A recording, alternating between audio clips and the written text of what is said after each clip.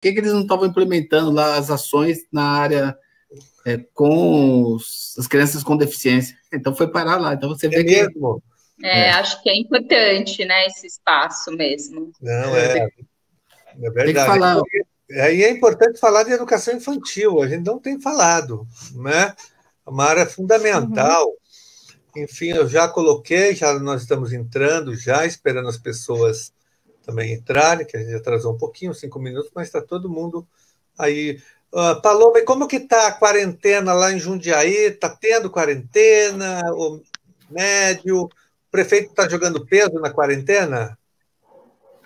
Então, o... não sei se você acompanhou, mas pelo governo Dória, Jundiaí, Sorocaba, pelo levantamento do governo Dória, né, Jundiaí e Sorocaba estão nos piores isolamentos da... do estado de São Paulo. E aí teve o relaxamento da quarentena, mas o Ministério Público fez voltar atrás e agora fez de fato fecharem todos os comércios que não sejam essenciais. Mas aqui em Jundiaí tem uma ligação muito grande com a classe empresarial, né? Então, o governo Luiz Fernando, ele foi muito pressionado pelos empresários e ele acabou cedendo. E Jundiaí está sendo uma cidade cogitada para receber os pacientes de Covid-19 de outras, de é. outras cidades. Nós ouvimos isso do governador, né? Falando que Jundiaí seria uma delas. Então, é bom que o pessoal faça o isolamento mesmo, né, Paloma? Não, é a única forma é. é o isolamento. E lá na rede municipal de Jundiaí, eles estão obrigando os gestores a estarem nas escolas, o pessoal do quadro de apoio? A tá... partir gestores, coordenadores e secretários, né, que são os assistentes administrativos, tiveram que retornar ontem. Ontem, dia 4 de maio. Eles retornaram ontem e aí, gradativamente, vai ter um retorno em escala para os demais funcionários da educação. E isso deixou a gente muito descontente, né? Porque nesse momento, como diz o professor Daniel Cara, o nosso pacto deve ser pela saúde, em primeiro lugar, dos alunos e depois a nossa saúde, dos profissionais da educação. Então, quando você abre a escola desnecessariamente para tantas pessoas assim, é, acaba que a gente fica inseguro, né? Porque muitos de nós estamos cumprindo o isolamento corretamente e ter que voltar assim, de, de, bem nesse pico da pandemia, é muito preocupante para a gente, principalmente a gente que tem os pais idosos em casa. Mas a partir de desde ontem, as diretoras, coordenadoras e, e os assistentes tiveram que voltar para as escolas para atendimento às famílias, né? Questões de matrícula, ou seja, todas essas coisas que já deveriam é, estar organizadas, né, Carlos, pela própria unidade de gestão de educação, sem obrigar os funcionários a retornarem, porque a vida dos educadores deve ser em primeiro lugar, a vida das diretoras, das coordenadoras e dos assistentes deve vir em primeiro lugar. E eu acredito que deveria ter outra medida que não essa presencial nesse momento. Com certeza. Olha, nós vamos então iniciar agora oficialmente a nossa live de hoje. O tema é a educação infantil na crise do coronavírus. Nós estávamos falando há pouco que nós fizemos muitas lives falando do, da educação básica, mas focando muito no, no ensino fundamental, no ensino médio, é, trabalhando sobretudo a rede estadual de ensino. Hoje à tarde nós fizemos sobre o ensino superior, já fizemos das universidades públicas, enfim, mas nós não focamos nessa área que é muito importante, que é a educação infantil. Então, é muito importante a live de hoje e a participação de vocês, três grandes educadoras, a Paloma, a professora Paloma, da Rede Municipal de Jundiaí, trabalha educadora de educação infantil, a Simone Cavalcante, professora e assistente de direção da Rede Municipal, e a Cláudia, educadora e professora também da educação infantil e a presença sempre aqui, para dividir comigo aqui a, a, a, condução dos trabalhos do vereador Celso Gianazzi, que acompanha muito de perto e luta em defesa da educação municipal, em defesa do magistério. Muito obrigado pela presença de vocês. Nós vamos abrir aqui com uma música, né? Que tem a ver com o tema de hoje. Eu vou colocar aqui, vou improvisar aqui, vamos ver se vocês vão ouvir, né? Deixa eu ver.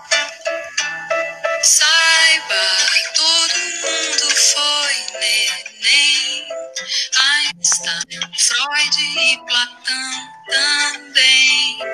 Hitler, Bush e Saddam Hussein.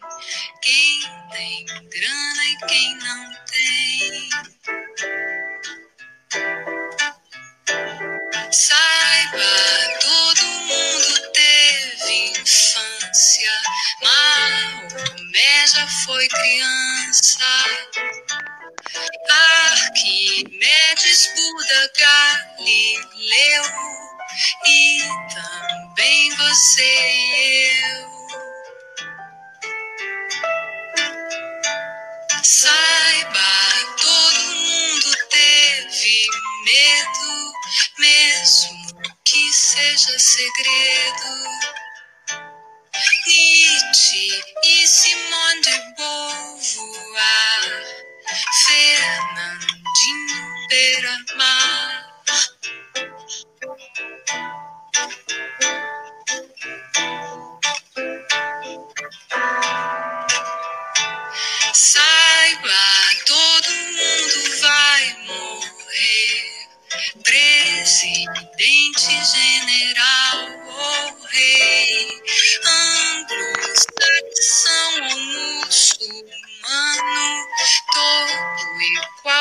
Ser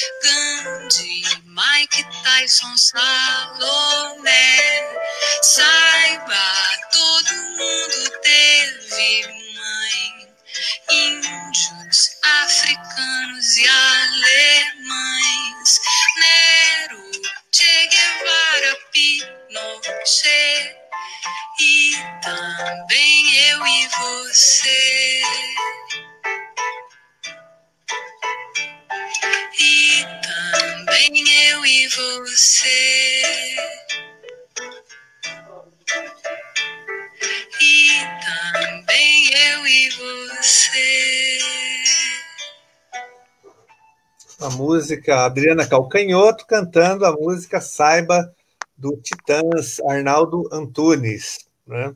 Então vamos lá começar a nossa live de hoje, educação infantil é, na crise do coronavírus. Vamos começar pela nossa convidada de Jundiaí, a professora Paloma. Paloma, como que está a situação lá da rede infantil?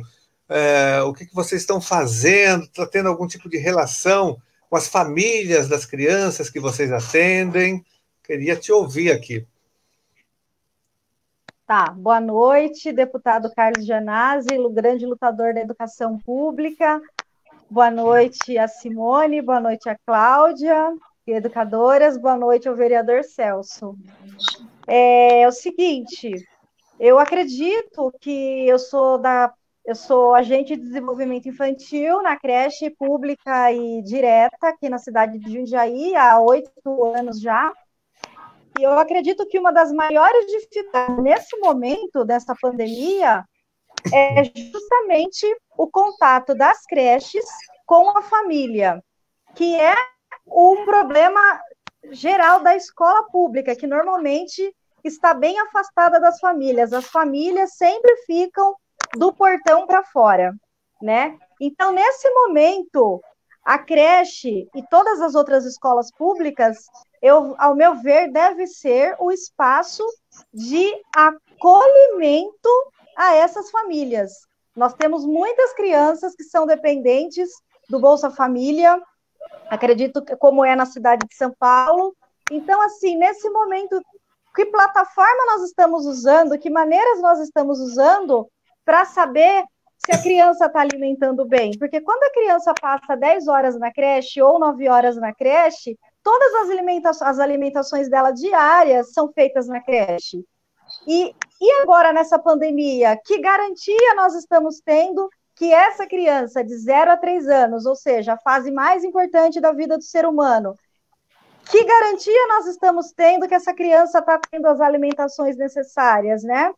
qual é o cuidado que o sistema está oferecendo para essa criança nesse momento de pandemia mundial e de uma enorme crise financeira, aonde os municípios não garantem que as mães trabalhadoras fiquem com seus filhos pequenos nesse momento, deputado Carlos. A gente passa por um problema que nós estamos no isolamento social, então a creche está fechada.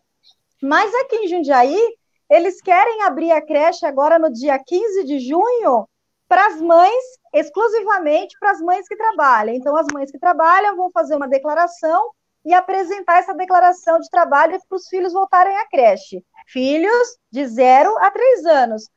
Porém, isso é imoral, Carlos, porque a gente tinha que garantir políticas públicas para as mães trabalhadoras estarem com seus filhos pequenos em casa nesse momento. Só que o município, ao invés de acolher as mães e garantir o direito da criança de ter o isolamento social, ele atende aos empresários que quer que a mãe volte para que a mulher volte para o mercado de trabalho a qualquer custo. Muitas mulheres mães nós sabemos que nem tiveram direito a esse isolamento. E aí é, o bebê, a criança que é a nossa maior interessada, volta para a creche e nesse momento, oh, Janaz, eu vejo isso como um perigo, por quê? Porque a nossa luta da educação infantil é tirar a creche do lugar assistencialista e levá-la para o local 100% de educação. Só que se eu abro a creche nesse momento para as mães que trabalham, porque eu não garanto que a mãe fique com seu filho em casa e eu não garanto que o bebê fique em casa em isolamento com a mãe, eu coloco a creche num lugar muito ruim, que não é de educação, e sim de puro assistencialismo.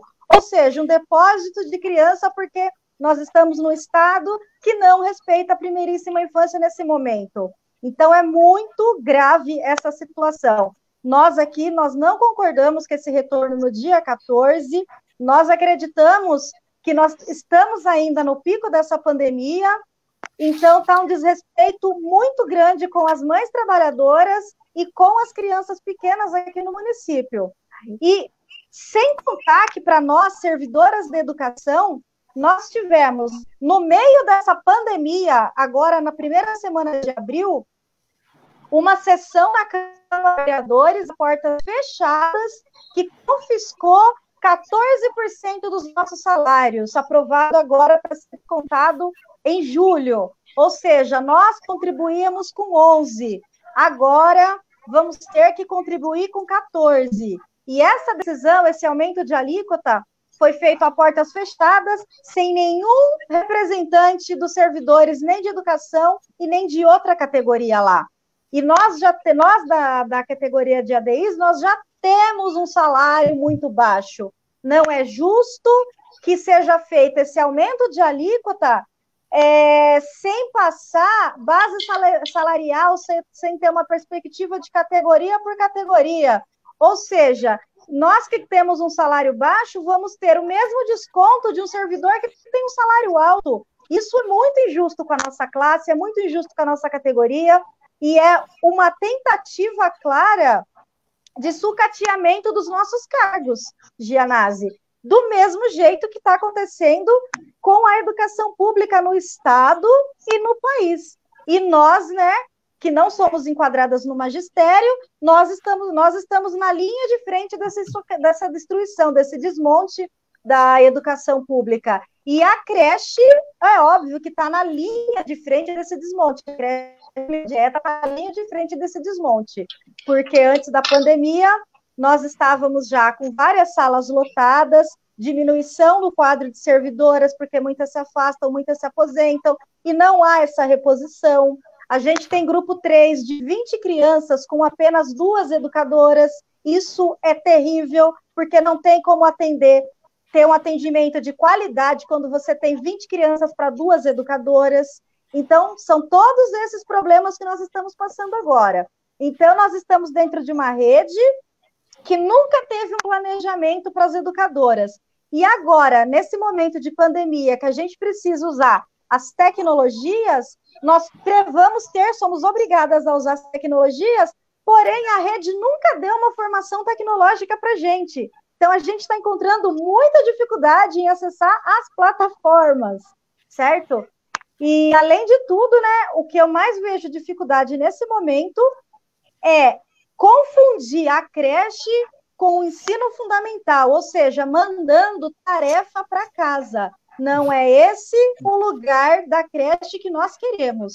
É óbvio que a creche tem o seu lugar, sim, mas o momento, o lugar da creche agora é de acolhimento às famílias, não de ficar mandando receita de massinha para cá, entendeu? Não ficar mandando atividade para a criança pintar, nem nada disso. A creche tem um outro tipo de educação, e, a educação que a creche fornece, que a creche garante, a educação que faz com que a criança construa a identidade e conheça o mundo. E isso se dá através do vínculo, do afeto e da convivência com os educadores, não a distância. A distância nós temos que acessar os pais, as famílias.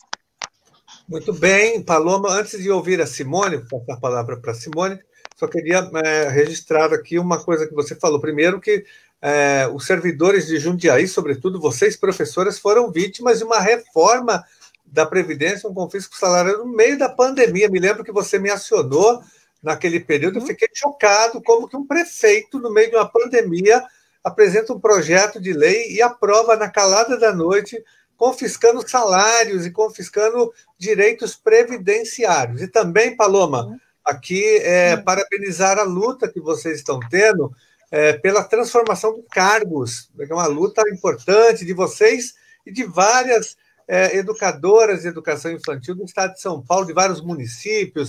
Tem o nosso pessoal lá de Vinhedo, a, a professora Simone, o pessoal de, de várias uhum. cidades que estão nesse movimento, de Sumaré, o pessoal da Baixada Santista. É um movimento criado aqui com uma grande organização que tem a, o apoio e assessoria do doutor Alexandre, um grande jurista, um grande advogado que tem ajudado bastante nessa luta.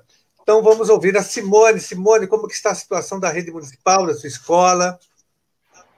Boa noite, queria né, agradecer a oportunidade, né, é, dar uma boa noite para Paloma, Cláudia, né, o vereador Celso, deputado Carlos Gianazzi. Acho que esse é um espaço importantíssimo né? Porque nós aqui somos, é, na verdade, a gente está representando uma é, as crianças que normalmente são é, estão né, invisibilizadas né, pela nossa, pelo nosso governo, né, a gente pode ver através do relato da Paloma em Jundiaí, onde as crianças, né, os bebês e as crianças não estão sendo respeitados, como aqui na nossa cidade. Então, agradecer essa oportunidade e dizer que a gente vive nessa mesma situação, como acredito que na grande maioria das cidades né, do, do nosso país, onde é, vem o governo com políticas públicas onde não se é, tem o cuidado e nem a escuta dos educadores, das crianças e das famílias em relação às suas necessidades nesse momento tão delicado de crise,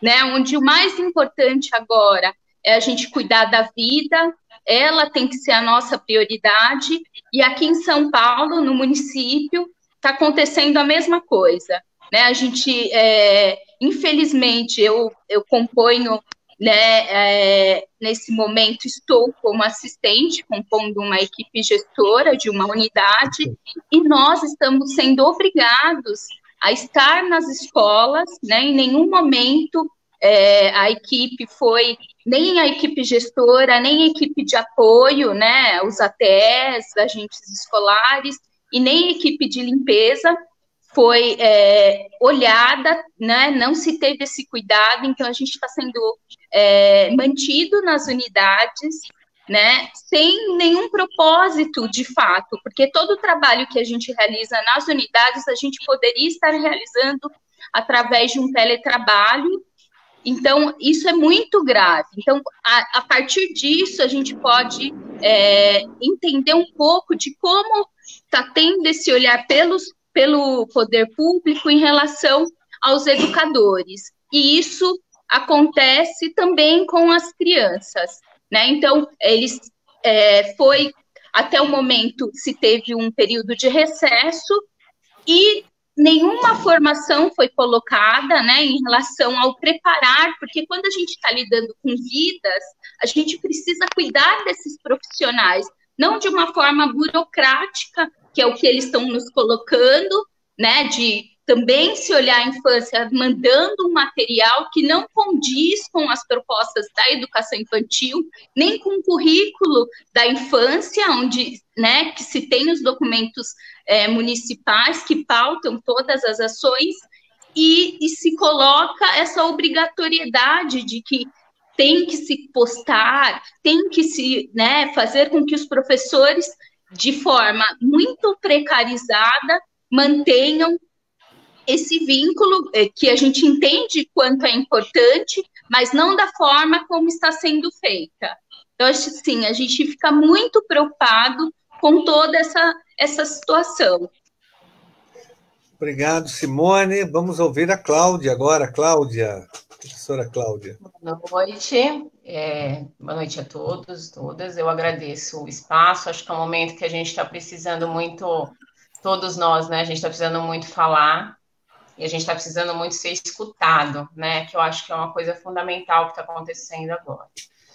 É, falar da, da educação de, de, crianças e de bebês não é falar sobre ensino à distância, é impossível. As coisas não são, elas não são associadas, né? Não se faz educação de crianças e bebês à distância. Eu acho que essa é a primeira coisa que a gente, é o primeiro ponto que a gente pode colocar, né? Educação é, infantil ela é feita de vínculo, ela é feita de construção, ela é feita de interação, ela é feita de pesquisa, de documentação, ela é muito séria, né? E quando as coisas são feitas de uma maneira pouco planejada e pouco discutida, a gente fica um pouco preocupado com o que se espera disso, né? O que concepção que se tem de criança, de infâncias, a quem a gente acha que a gente está tentando atingir, né? Essas crianças, esses bebês são sujeitos potentes, com direitos, com sentimentos, e estão vivendo em lugares que nós não estamos alcan alcançando, onde é, com que cuidadores, onde estão esses cuidadores, sob que circunstâncias, o que está acontecendo. Então, eu acho que a maior discussão de hoje que os educadores precisam ter, que é o que nós deveríamos estar fazendo, né? É discutir como fazer para atender as demandas e necessidades tanto dessas crianças que nós conhecemos e temos todo o vínculo e desses cuidadores, né? Quais são as demandas? Se nós somos realmente a, a instituição que está mais próxima dessas famílias, dessa comunidade, nós precisávamos estar associados agora a uma rede toda de proteção, à, à saúde, assistência social, para a gente conseguir uhum. mapear qual é a vulnerabilidade, que questões são necessárias para a gente poder atendê-los nessa demanda, porque educação se faz em todo lugar, né? Não é só na escola, principalmente educação de bebês e crianças. E o que a gente precisaria agora é uma forma de, de, de discutir, de refletir como chegar a atingir o maior número possível. Na verdade, a gente deveria ter condições de atender a todos, né? Que infâncias são essas que são atendidas? Quem é essa criança? Será que ela, ela tem um gizinho para desenhar? Será que ela tem acesso ao celular? Quem que é a criança que nós estamos atendendo? E, sobretudo, uma discussão que eu acho que tem que se colocar agora, que a gente não pode esquecer, é como vamos voltar, né? Se essa nova realidade vai se mostrar aí para a gente de um jeito todo novo, todo diferente, será que a gente não deveria estar agora planejando a nossa volta, planejando como vai ser a volta dos bebês e das crianças, que a gente sabe que estão em número muito grande dentro da escola, que a gente sabe que estávamos com problemas é, em relação à manutenção do espaço, da limpeza, é, de receber os materiais, como nós vamos voltar? Eu acho que nós deveríamos estar agora debruçados, enquanto comunidade, enquanto sociedade, no planejamento de como voltar como trazer de volta esses bebês e crianças, além de, claro, pensar no acolhimento que a gente deve fazer a essas famílias, que nós precisamos até saber como é que estão vivendo, né? Eu, eu, eu penso assim. Ótimo. A Paloma deu uma saída, voltou. A Paloma, agora o Celso, nosso vereador Celso Gianazzi, que tem uma ação importante, Simone, naquilo que você colocou dessa é, orientação genocida do prefeito Bruno Covas e manter obrigatoriamente as diretoras, as assistentes de direção, as CPs e o quadro de apoio escolar nas escolas. O Celso tomou aí várias medidas, Celso. Fale um pouco sobre isso também. Então, em primeiro lugar, boa noite. É, Simone, a, a, Paloma, a Cláudia, o Carlos. Está aqui nessa mesa é, esse debate com três grandes educadoras, né, dos especialistas no ensino infantil. O Carlos também é um educador. É, e o público que nos está nos acompanhando aqui pela, pelas redes sociais. Importante esse debate, né, porque a educação infantil a gente vê aqui na cidade de São Paulo muito atacada, né? mesmo antes da pandemia, nós tivemos vários embates na Câmara Municipal, projetos da terceirização da educação infantil, mais creches e outras aberrações. Então, é, só pontuar duas coisas, a fala da Paloma, ela coloca lá esse, esse projeto lá em Jundiaí, assim, uma coisa muito gritante, muito bizarra, que um prefeito colocar um projeto, passar um projeto de reforma de previdência, né?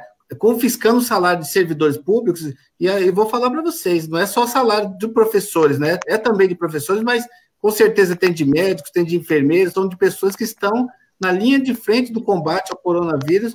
Um, um gestor, não se pode falar nem que é um gestor, é um covarde, né? Prefeito dessa estirpe fazer um negócio desse é um, é um absurdo completo. Então, é, e aqui na Câmara Municipal, nós temos, inclusive, no dia de hoje, alguns vereadores querendo se aproveitar desse momento da pandemia, fazendo a defesa da, de, de se pautar projetos na linha da defesa do homeschooling, colocar o homeschooling para ser aprovado agora. Nós tivemos que fazer a intervenção seríssima hoje lá, muito contundente, para que esse projeto não seja pautado. Então, a gente vê o ataque à educação infantil, o não diálogo da Secretaria Municipal de Educação com os educadores, né? O que a Cláudia coloca muito bem, a Simone também colocaram aqui, não, não houve esse diálogo, o papel é, essencial do, das professoras, dos professores, dos educadores, é no contato com a família, e dizer para vocês também, o Carlos citou esse, essa ação, é, nós tivemos um caso, inclusive, Carlos, né, da, de um gestor, uma escola do AME, do CEL, é, na Zona Leste, o, o gestor ele é obrigado, nessa situação que a Simone colocou, obrigado a comparecer na escola. Esse, esse trabalho poderia ter sido feito, está sendo feito via teletrabalho. É, são mais de, no total, entre gestores, o quadro de apoio da educação e os, os trabalhadores terceirizados da limpeza, são quase 5 mil pessoas sendo obrigadas a estarem nas escolas. E muitos desses serviços poderiam estar sendo feitos teletrabalho. E esse gestor ele nessa obrigatoriedade de estar lá fazendo esse trabalho, ele se infectou com o coronavírus, é, possivelmente aí no transporte público, de ônibus e trem que ele pega, e ele retornou à sua casa, e a esposa é uma professora da rede também municipal, e ele infectou, ela está cumprindo a quarentena a rigor. Ele infectou a professora e ela está internada no dia de ontem, estava entre a vida e a morte por conta disso, por conta de uma ação é, eu digo criminosa, né, dessa administração do prefeito Bruno Covas, de obrigar os trabalhadores, as, as profissionais da educação, né, gestoras e o quadro de apoio, a estar nas escolas desnecessariamente. É, inclusive, aí nós fizemos essa ação conjunta dos dois mandatos, nosso do deputado Carlos Zanazzi, acionando o Ministério Público, né, criminalmente, criminando o prefeito Bruno Covas, responsabilizando por essa atitude ele vai causar muitas mortes aqui em razão dessa, dessa atitude, né? Covarde, cruel e criminosa. Então, mostra muito desta administração para, é, é, voltada para a educação que não dialoga, né? Não dialoga com as professoras e os professores. É, tanto a Paloma como você falou agora, Celso, também que tentaram aprovar o voucher, tentaram colocar na pauta né, o projeto do voucher, é um absurdo, porque em plena pandemia os governos tentam aprovar. Vocês viram que no, no Congresso Nacional, infelizmente, hoje a Câmara dos Deputados aprovou, acabou de aprovar agora, em segunda votação, o congelamento dos salários dos servidores públicos em todo o Brasil, dos municipais, dos estaduais, dos federais, por 18 meses. Não só o congelamento de salários, mas também a, o congelamento das promoções, aquela evolução funcional está congelada, é, da reestruturação de carreira também. Isso aí já inviabiliza, Paloma, a nossa luta pela transformação dos cargos durante 18 meses. Essa luta fica congelada porque a lei que foi aprovada hoje certamente será sancionada pelo genocida presidente Bolsonaro, né, o, o Bolsonaro, ele vai sancionar, então por 18 meses nós vamos ter os salários congelados de praticamente quase todos os setores do funcionalismo público é, federal. Eles se aproveitam da pandemia, que nós não conseguimos sair de casa, nos organizar, fazendo manifestações, atos, greve, porque não tem como sair nesse momento. Nós fizemos só uma, né, Celso, esses dias lá na, no HU, no hospital universitário, que a situação é grave, tem 40 servidores contaminados, servidores da saúde, contaminados com o coronavírus, e nós fomos participar de um ato, mas com segurança, com máscara, com distanciamento total, com poucas pessoas, para pressionar o superintendente a oferecer os EPIs, que são esses equipamentos de proteção individual. E amanhã haverá um outro ato, igual a esse lá, viu, Celso? Amanhã, às 11 horas da manhã, lá na Universidade de São Paulo, no HU, em defesa do hospital universitário, também que vive essa crise. Então, os governos se aproveitam disso. A Paloma deu uma saidinha aqui, acho que teve um problema técnico, que eu ia passar exatamente a palavra. É, Carlos, é, só complementando o que você está falando, e, e, e, isso que a gente precisa estar bem atento e combater. Como sempre, nós, trabalhadores, né, a, a população vai ter que pagar essa conta que, na verdade, é, poderíamos ter esses recursos através de outras fontes, como a taxação das grandes fortunas, né, a cobrança das dívidas dos bancos, das grandes empresas, e, como sempre, a população, o, o trabalhador que arca com tudo.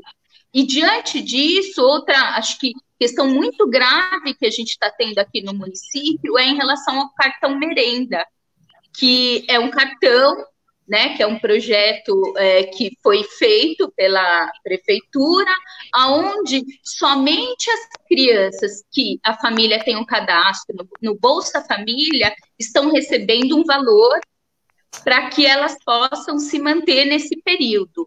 E, de fato, isso acaba é, excluindo gran, uma grande porcentagem né, da, da nossa rede. E a gente é totalmente contrário a isso, uma vez que a alimentação é um direito da criança e do bebê que está dentro da escola. Então, é muito grave todos os ataques que a gente está vivendo durante esse momento tão sério. Né? O governo se aproveita desse momento de, de dificuldade de mobilização né, das famílias, de nós, trabalhadores, para fazer a cada dia um golpe maior em cima de todos, né? Passar para Paloma a palavra. É, é um momento de grande ataque a toda a classe trabalhadora, tanto quem é CLT quanto a gente que é servidor público estatutário.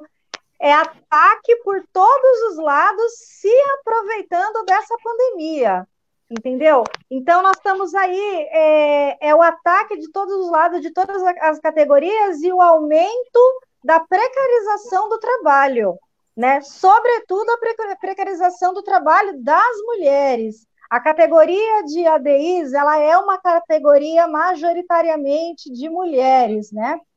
E é bom, é bem, é, é bom deixar bem claro aqui que quando o governo Bolsonaro foi eleito, a creche não constava no plano de governo dele.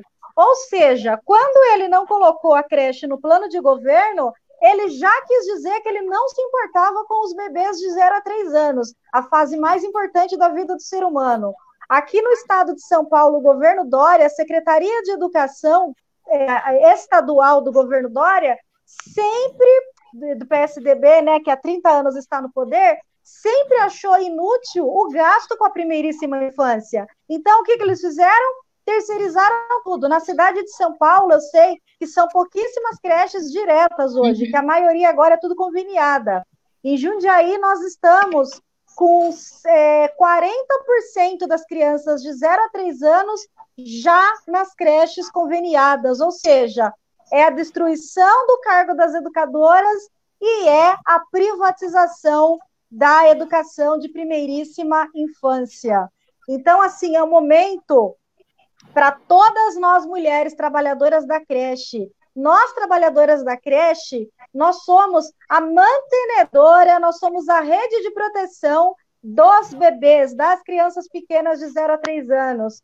Falar de criança, falar de criança de 0 a 3 anos, tem que falar das nossas categorias, tem que falar da nossa valorização.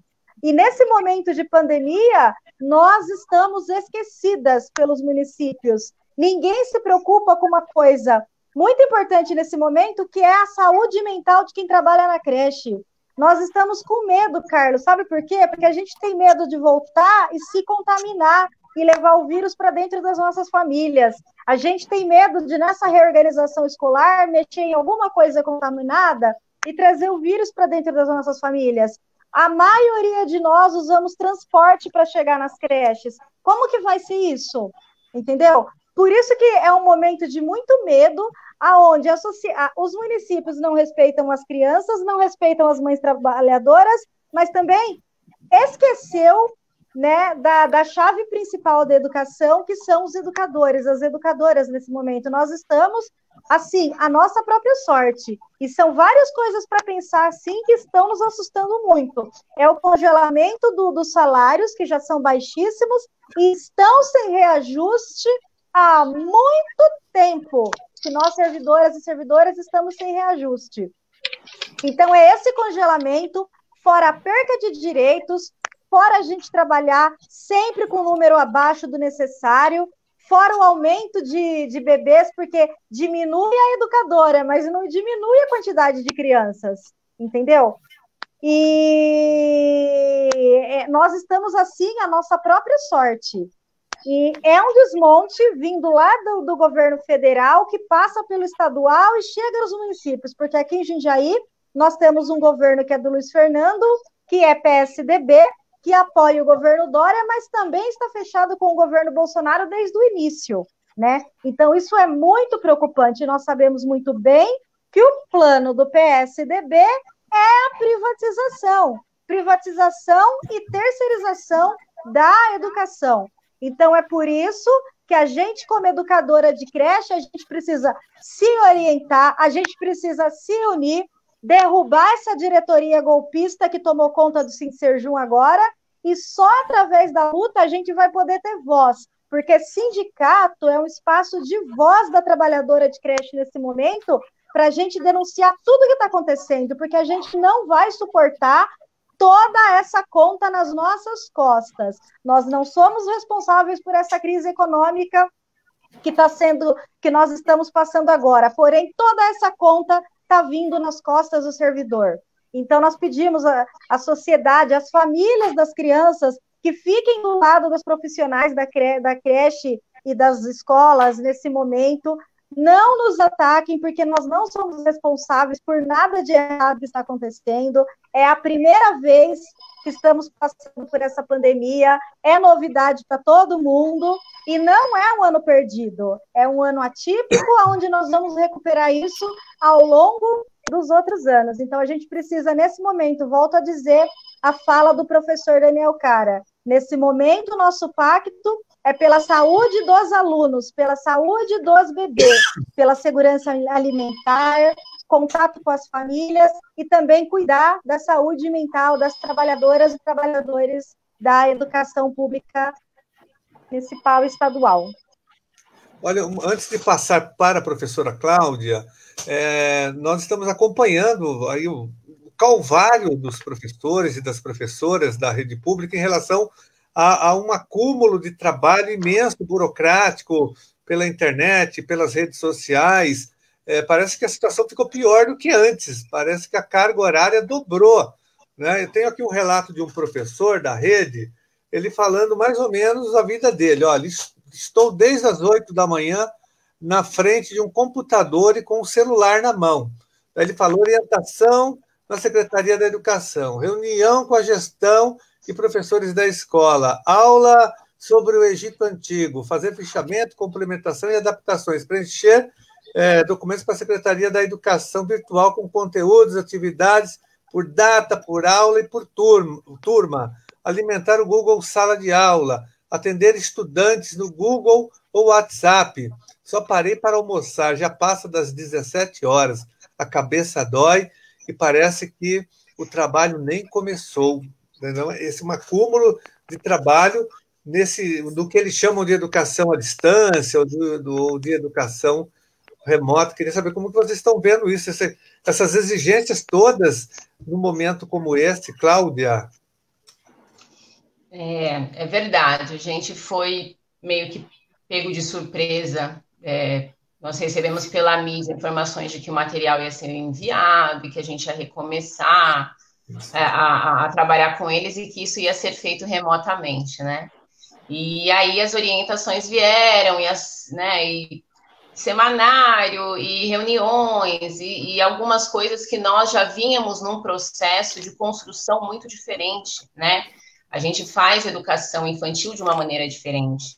Então, a gente está tendo que se reorganizar, se reinventar, mas como a gente é muito crítico em relação ao que a gente faz, muito sério em relação ao que a gente faz, nós estamos procurando um caminho de sim atender as demandas das melhor, da melhor forma possível, discutindo sobre isso, vendo que é importante passar para as crianças que nós não somos conteudistas, não somos tarefeiros, não é essa a nossa concepção de educação mas trazer pelo menos uma construção de memória afetiva para as crianças, isso dá muito trabalho para fazer, até porque a gente não tem formação nenhuma nisso, né? Nós estamos nós mesmas nos ajudando, explorando plataformas, tentando aprender aquilo que está funcionando, porque muitas vezes demora para as coisas entrarem todas no, no, eixo, algumas discussões que nós temos sobre algumas plataformas que não deveriam ser usadas com crianças pequenas, porque não faz o menor sentido, não, não tem nada a ver com a documentação e com o nosso projeto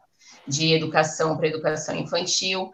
E estamos tentando continuar construindo e, e nosso, nossos fazeres e continuamos a discussão do que é melhor, né? E o que a gente vem discutindo é isso mesmo, que nossa tarefa é uma tarefa é, política, no sentido de que nós precisamos é, formar nossas crianças, ajudar essas famílias a, a, a, na educação dessas crianças, estar próximas delas para elas entenderem as demandas que têm e entenderem os direitos que têm, a participação, a voz, a escuta, e essa gente nunca vai deixar essa responsabilidade de lado, nós vamos continuar lutando por isso.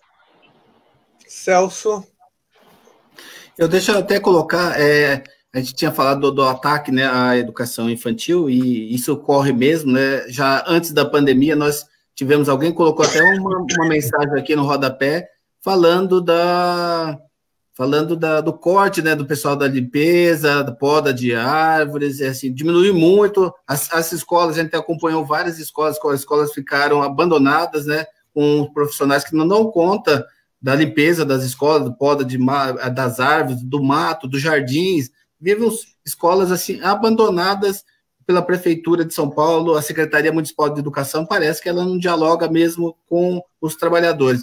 E nós estamos vendo agora né, em plena pandemia e a gente tem defendido a rede direta, né, que todos os professores, todos venham para a rede direta, a gente defende a escola pública direta. Mas a gente vive essa realidade, a Paloma apontou aqui na cidade de São Paulo, realmente uma grande quantidade de seis estão na mão de políticos, são terceirizados, mas mesmo assim, no meio dessa pandemia, a Secretaria Municipal de Educação teve a coragem de descredenciar algumas dessas seis, mandando os professores embora, o vínculo que tinha com os bebês e crianças desfeitos totalmente, e as professoras é, trabalhadoras dessas, dessas seis conveniadas estão abandonadas, ficam abandonadas sem salário, sem hipótese alguma. E aí eu queria colocar um ponto, até perguntar para a Simone, para a Cláudia, que são aqui da rede municipal. A, a Simone coloca bem essa a entrega do bilhete de alimentação. Nós, inclusive, fizemos um projeto na, na Câmara Municipal obrigando a Prefeitura a implementar isso. Então, eles pegaram até uma ideia de um projeto que nós tivemos lá. O, o Carlos também apresentou na Assembleia Legislativa um projeto idêntico, né? E os, os cartões que não chegassem às residências, eles seriam devolvidos das escolas e as escolas entregariam aos pais e, ou responsáveis. A pergunta é: a Secretaria Municipal de Educação dialogou com os educadores? Tem equipamento de proteção individual básico, gel, álcool em gel, máscara, para fazer esse atendimento aí aos pais e responsáveis? É, então, é, como sempre, não, né? A gente está nesse abandono, de fato, né? É, então, até o momento, a gente não recebeu nenhum equipamento de proteção, né? Esses cartões as escolas já receberam, né? Para estar tá informando e, e, chamando essas famílias para receberem esse benefício, e tudo está sendo feito né, por nós mesmos, né? Uma vez que a gente tá, é, é, tem visto a cada dia profissionais, né, adoecerem, familiares, né? Já temos relatos de mortes de servidores que estavam em unidades trabalhando. Então é, é essa situação que a gente vive. O abandono ele não é só, como eu disse anteriormente, com as nossas crianças e bebês. Ele é com a, os educadores, com as famílias.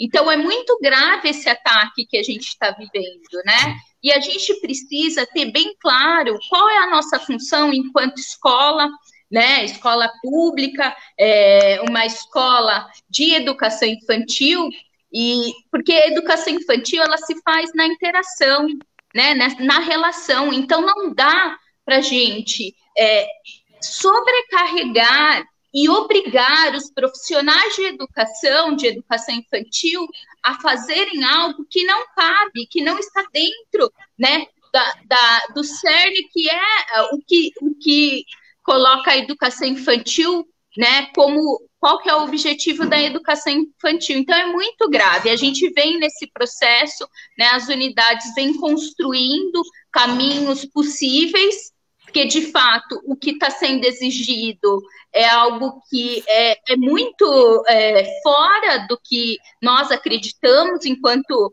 educação infantil, né, nesse cuidado é, com as infâncias. Então, a gente vem nesse processo é, muito solitário das escolas, dos educadores, que estão a cada dia adoecendo pelo, pela quantidade de trabalho. Nós que estamos lá na linha de frente nas escolas também não temos nenhum apoio, estamos muito abandonados. Né, o que a, a Paloma colocou sobre esse cuidado com a saúde mental, isso é muito sério.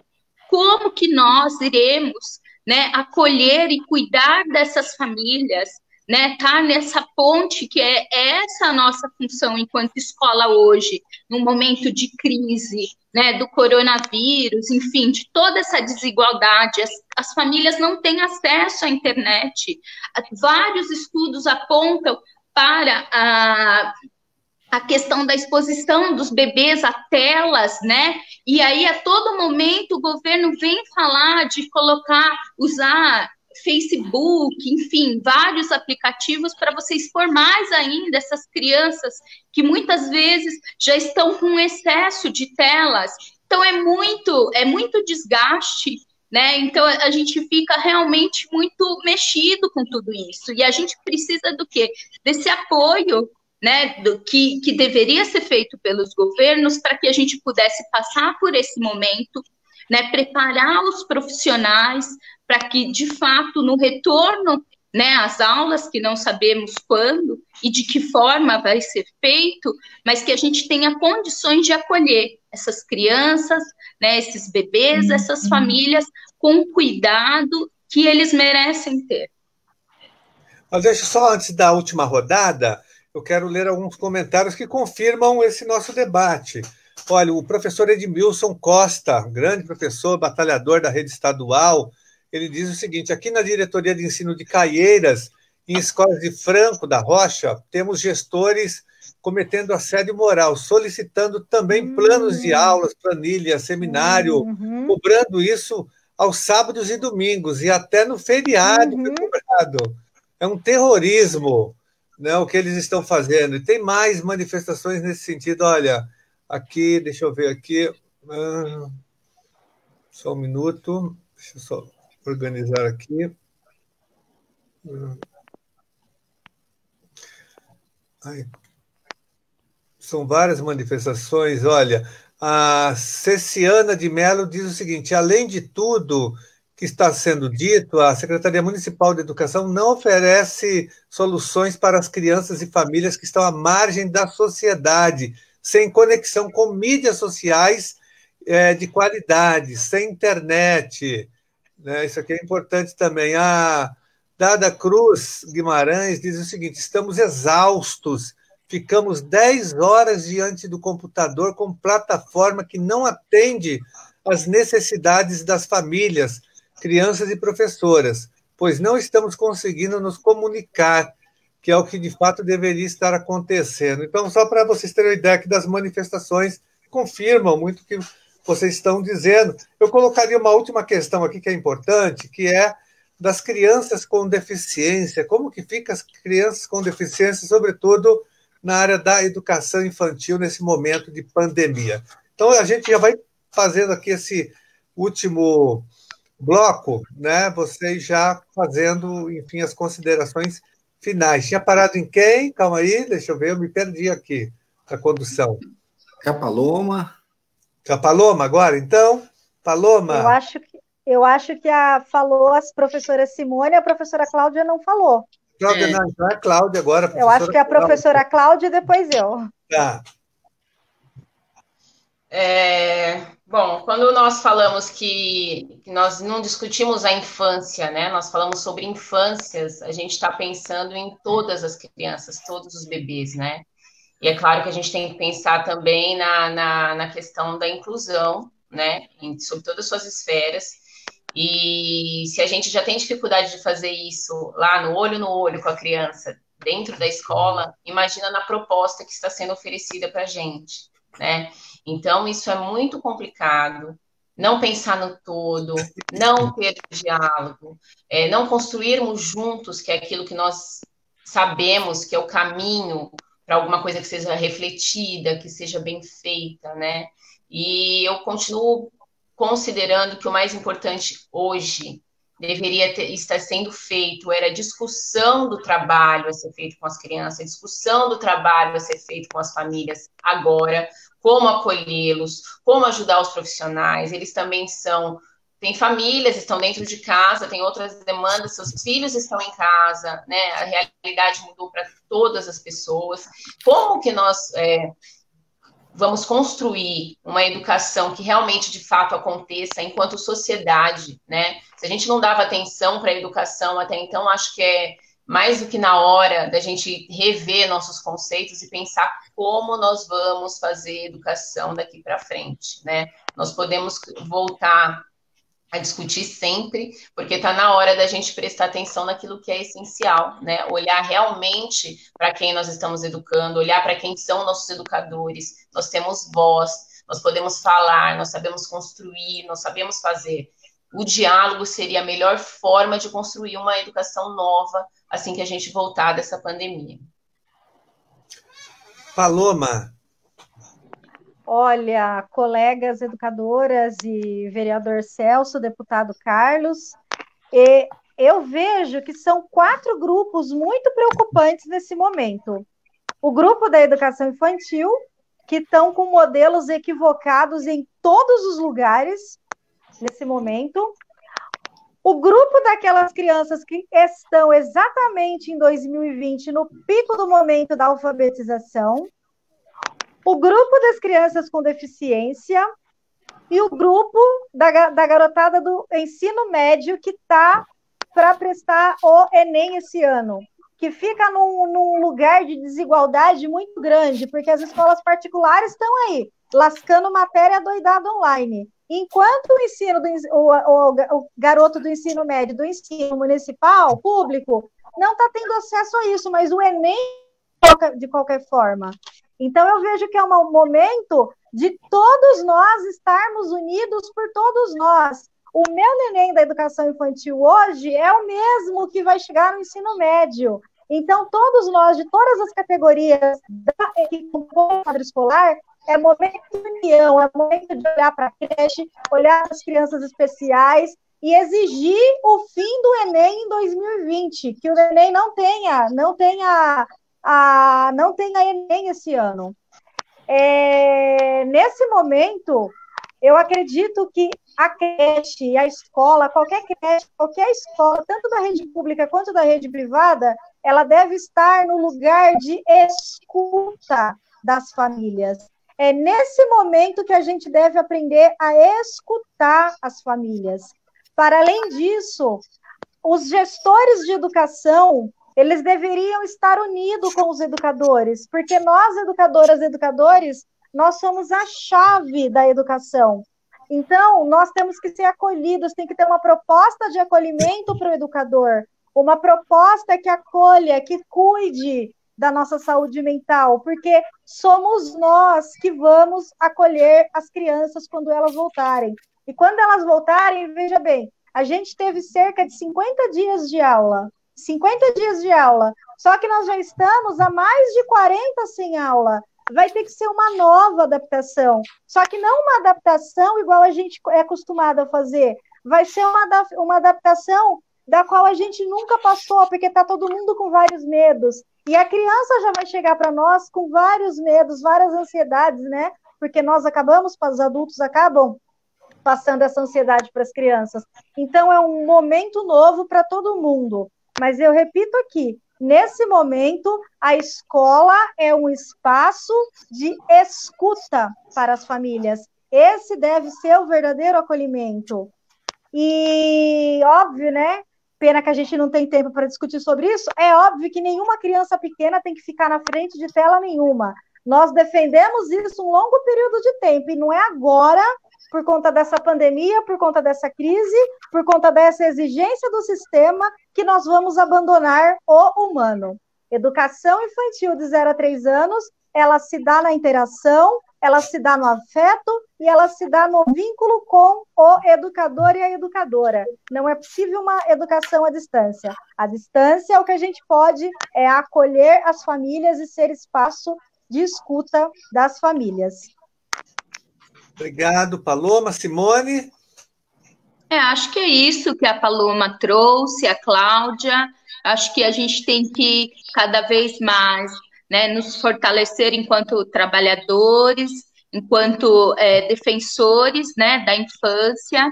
É importante esses espaços né, de discussão, de troca, e mais principalmente de fortalecimento da nossa luta, né? É importante a gente saber que não estamos sozinhos, né? Então, e é esse caminho mesmo que a gente vem aí trilhando, né, de construção de, é, diante de tantas as, os desafios que nos impõem, né, esse momento, mas é importante a gente ter clareza que a, a escola, ela tem que ser esse, esse espaço de acolher né, as famílias, principalmente, porque são elas que, que nos permitem esse, esse elo com as crianças e bebês, e importantíssimo a gente cobrar dos governos políticas públicas de, que de fato garantam o direito né, da, dos bebês e crianças e de nós trabalhadores que estão aí na linha de frente.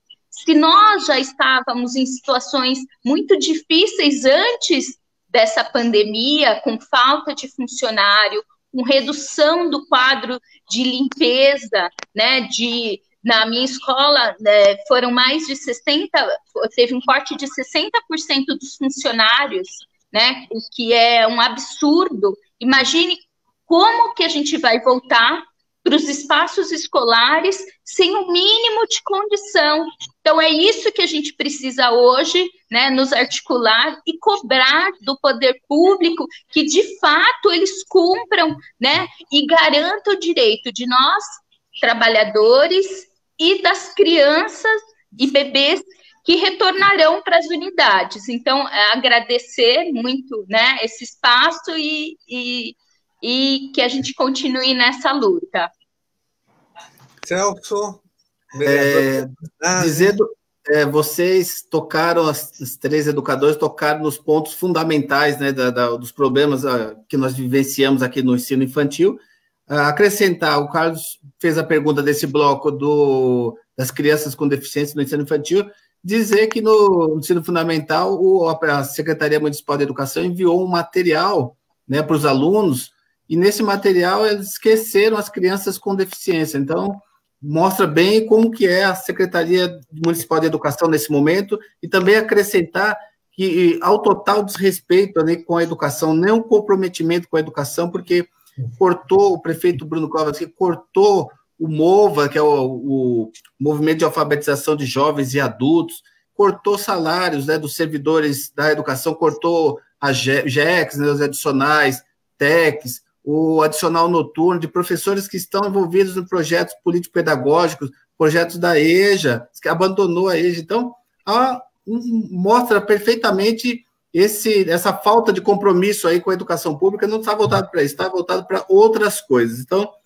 é dizer disso e parabenizar vocês, parabenizar a Paloma, né, excelente trabalho, a Cláudia, parabenizar também a Simone, que além de uma educadora, ela é mãe, né, de uma conselheira mirim, né, do nosso conselho lá municipal, do conselho mirim da Câmara Municipal, né, e discutir, eu tenho certeza que vocês estão fazendo isso, né, Simone, é, discutindo com as crianças também, o Conselho Mirim está muito ativo Sim. nesse momento, fazendo esse discurso, esse diálogo, essa conversa do, da, da pandemia na cidade de São Paulo, no mundo, faz essa análise muito brilhantemente. Nós tivemos algumas reuniões, então, parabéns para vocês, parabéns pelo, pela iniciativa também do nosso professor, deputado Carlos Janazzi aqui, que traz à luz um debate muito importante da educação infantil na cidade de São Paulo, no estado de São Paulo como todo, que temos a Paloma aqui de Jundiaí. Então, parabéns, um abração a todos, boa noite Boa noite a todos que nos acompanharam aqui pelas redes sociais com os comentários. Veio comentário também da,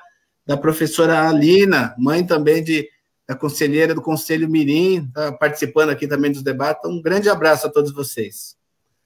Olha, eu não tenho palavras para agradecer vocês pela participação, pelas intervenções, pelas considerações que vocês fizeram, que foram críticas, né, objetivas, mas comoventes também é, que nos deu mais ânimo né, e trouxe um pouco de oxigênio no meio de tanta tragédia, de tanta crise. A fala de vocês foi fundamental para que a gente é, pensasse e refletisse mais sobre a educação, mas, sobretudo, num campo que nós não tínhamos entrado ainda, que era justamente a educação infantil. E as pessoas aqui estão agradecendo é, e, e confirmando tudo o que vocês é, falaram. Muito obrigado, Cláudia, professora Cláudia, professora Simone, professora Paloma, vereador Celso Gianazzi.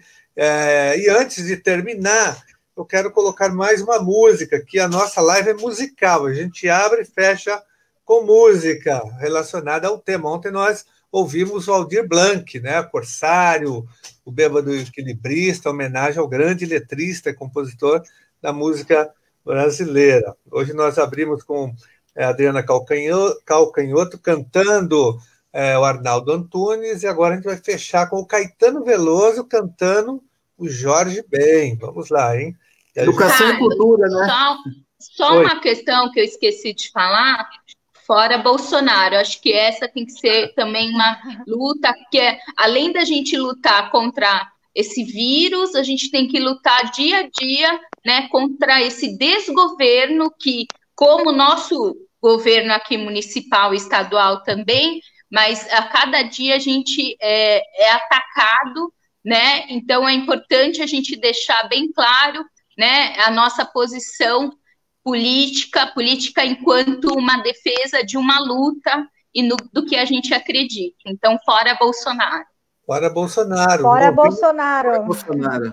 É um governo contra a educação, um governo que cortou recursos da educação, inclusive da educação infantil também, aqueles Sim. cortes Sim. que ele fez logo no início do governo, não, foi, não foram cortes só das universidades é, federais e dos institutos de ensino, mas também na educação básica, cortou na educação infantil, no ensino fundamental, no médio, cortou na merenda escolar, cortou transporte escolar gratuito, as suplementações orçamentárias para municípios e estados tiveram cortes drásticos, né? E é um governo autoritário, um governo nazi-fascista, proto-nazi-fascista, que está colocando em curso uma escalada autoritária, querendo controlar a Polícia Federal. Né? É um perigo. Esse governo que ataca também a democracia brasileira e todo o sistema republicano. Temos que estar atentos e fortes para fazer esse enfrentamento também. E a única saída para sair da crise é fora Bolsonaro. Com Bolsonaro, muita gente vai morrer. Hoje morreram 600 pessoas. Né? Foi o maior pico. E a previsão é que daqui a alguns dias nós vamos ter mil pessoas morrendo por dia. O próprio ministro da Saúde disse isso, que é bolsonarista, ligado ao Bolsonaro. Mas não tem saída com o Bolsonaro. Né? Ou o Bolsonaro sai ou ele vai acabar com o Brasil. Por isso que a palavra de ordem agora é fora Bolsonaro, ou impeachment, ou renúncia, ou cassação pelo Supremo, ou pela, pelo TSE. O importante é tirar, remover esse entulho nazi-fascista da presidência da República. Muito obrigado. Bem lembrado, Simone. Vou colocar então a nossa música aqui para encerrar a nossa live. Olha o menino, ui. Olha o menino, ui, ui, ui. Olha o menino, ui. Olha o menino, ui, ui, ui. Eu só quero que Deus me ajude, o menino mais também. Pois a rosa é uma flor, a flor é uma rosa e o menino não é ninguém. Olha o menino, ui, olha o menino, ui, ui, ui. Olha o menino, ui, olha o menino, ui, ui, ui. Há seis mil anos o homem vive feliz fazendo guerra criadeira. Há seis mil anos Deus perde tempo fazendo flores e estrelas. Olha o menino, ui, olha o menino, ui, olha o menino, ui, olha o menino, ui, Eu sou um homem sincero porque nasci, cresci e vivo livre. Eu sou um homem sincero que quero morrer, nascer e viver livre. Olha o menino, ui, olha o menino, ui, ui. Olha o menino, ui, olha o menino, ui, ui. Eu só quero que Deus me ajude, o menino muito mais também. Pois a rosa é uma flor, a flor é uma rosa, o menino não é ninguém. Olha o menino, ui, olha o menino, ui, ui, ui. Olha o menino, ui, olha o menino, ui, ui. Há seis mil anos o homem vive feliz fazendo guerra criadeira. Há seis mil anos Deus perde tempo fazendo flores e estrelas. Olha o menino, ui, olha o menino, ui, ui. Olha o menino, ui, olha o menino, ui, ui, ui. Eu sou um homem sincero porque nasci, cresci, vivo Eu sou um homem sincero que quero morrer, nascer e viver livre. Olha o menino, ui, olha o menino, ui, ui, ui. Olha o menino, ui, olha o menino, ui, ui, ui. Olha o menino, ui, olha o menino, ui, ui, ui. Olha o menino, ui, olha o menino, ui, ui, ui. Olha o menino. Isso aí, pessoal. Caetano Veloso cantando Jorge Ben, encerrando a nossa live de hoje. Muito obrigado, Cláudia, Simone, é, Paloma, Celso. Muito obrigado a vocês que acompanharam a nossa live. Foi fundamental a presença de vocês também. Boa noite e bom descanso. E amanhã teremos novos debates e novas lives. Um abraço a todos. Todas. Boa noite, um abraço para vocês. Boa noite. Boa noite. Boa noite. Tchau, tchau. Boa noite.